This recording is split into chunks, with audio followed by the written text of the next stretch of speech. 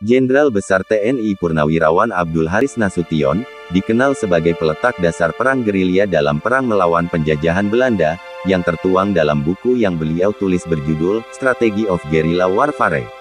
Buku yang kini telah diterjemahkan ke dalam berbagai bahasa asing, dan menjadi buku wajib Akademi Militer di sejumlah negara, termasuk sekolah elit bagi militer dunia, West Point Amerika Serikat.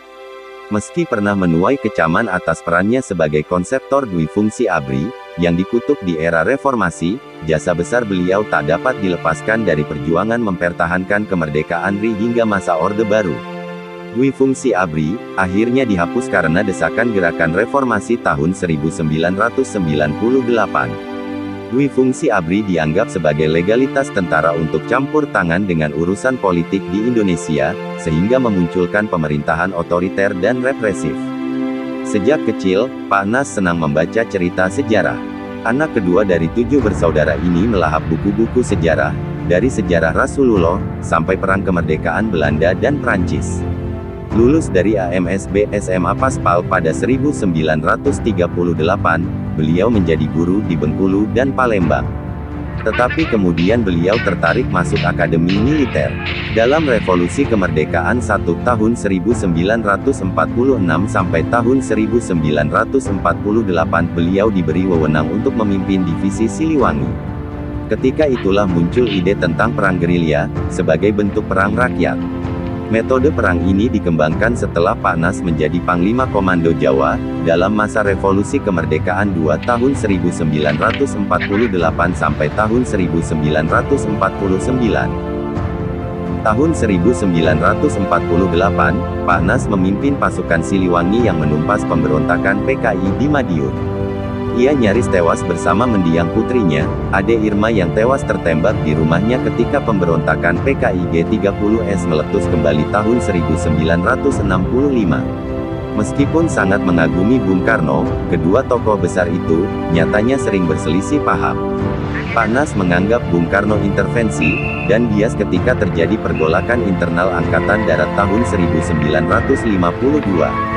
Dalam peristiwa tanggal 17 Oktober, yang menuntut pembubaran DPRS dan pembentukan DPR baru, Pak Nas dituding hendak melakukan kudeta terhadap Presiden RI yang berujung Bung Karno memberhentikannya sebagai KSAD.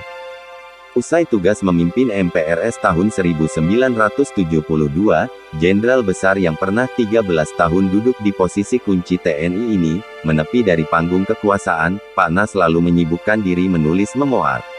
Sampai pertengahan 1986, lima dari tujuh jilid memoar perjuangan beliau telah beredar.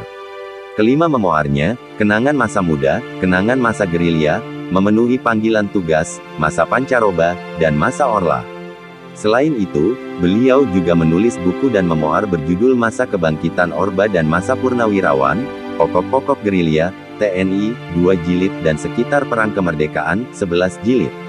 Jenderal Besar Nasution menghembuskan nafas terakhir di Rumah Sakit Gatot Subroto, pukul 7.30 waktu Indonesia Barat tanggal 9 September tahun 2000, pada bulan yang sama ia masuk daftar PKI untuk dibunuh. Jenderal yang merupakan salah satu dari tiga jenderal yang berpangkat bintang 5 di Indonesia ini, sedari kecil hidup sederhana, dan beliau tak mewariskan harta pada keluarganya, kecuali kekayaan pengalaman dalam perjuangan dan idealisme. Rumahnya di Jalan Toko Umar, Jakarta, tetap tampak kusam, hingga kini tak pernah direnovasi. Setelah akur kembali, Pak Nas diangkat sebagai KSAD pada tahun 1955, setelah meletusnya pemberontakan PRRI Permesta. Pak Nas dipercaya Bung Karno sebagai koformatur pembentukan Kabinet Karya dan Kabinet Kerja. Keduanya tidak akur lagi usai pembebasan Irian Barat, lantaran sikap politik Bung Karno yang cenderung pro-PKI. Dia merupakan salah satu tokoh, yang menjadi sasaran dalam peristiwa gerakan tanggal 30 September namun yang menjadi korban, adalah putrinya Ade Irma Suryani Nasution dan ajudannya, Letu Pierre Tendean.